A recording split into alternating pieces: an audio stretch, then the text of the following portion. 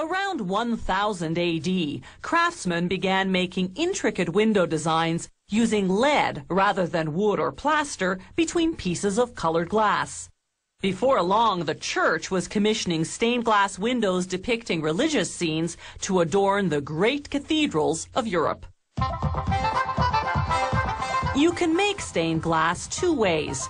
Using copper foil, a technique developed about 100 years ago by the American artist Louis Comfort Tiffany, or you can use the centuries-old European lead technique, which we're about to see.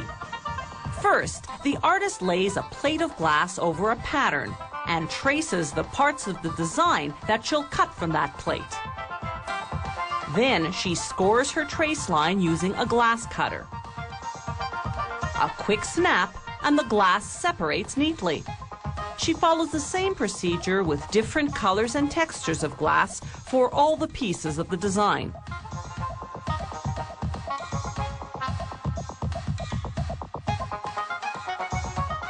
By running the cutter slightly inside the trace line, she leaves room for the strip of lead that will later hold the pieces of glass together.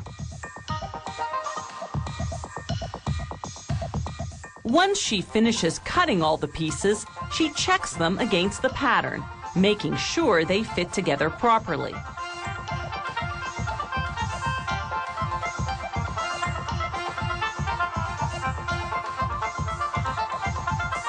Now it's time to assemble the pieces using the pattern as a guide.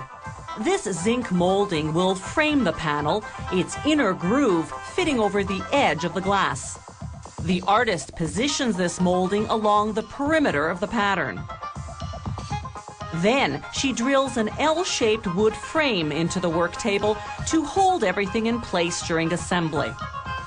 A few nails keep the molding in place.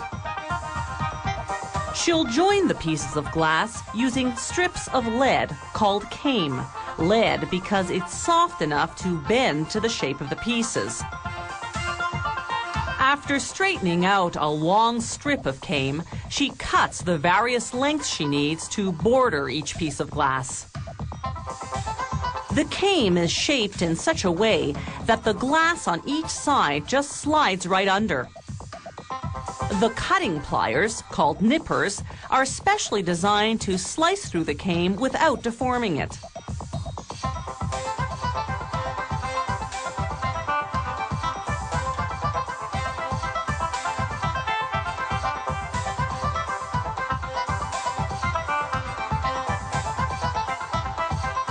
Once the artist finishes assembling the glass pieces, she pushes everything gently against the wood frame.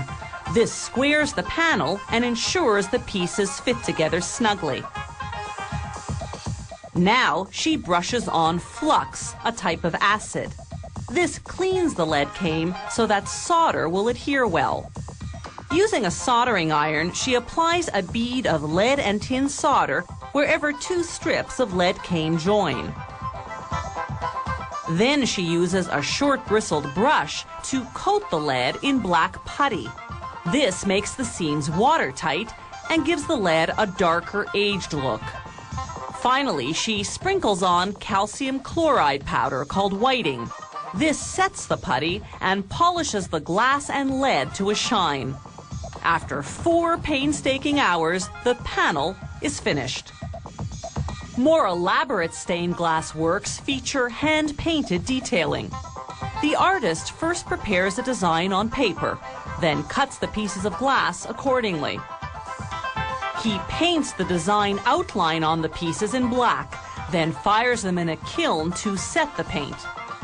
To create shading, he applies a coat of brown paint called grisaille. Using a dry brush, he removes it from the parts he wants to highlight then he fires the glass again. Now he paints in the final details and fires the glass for one last time.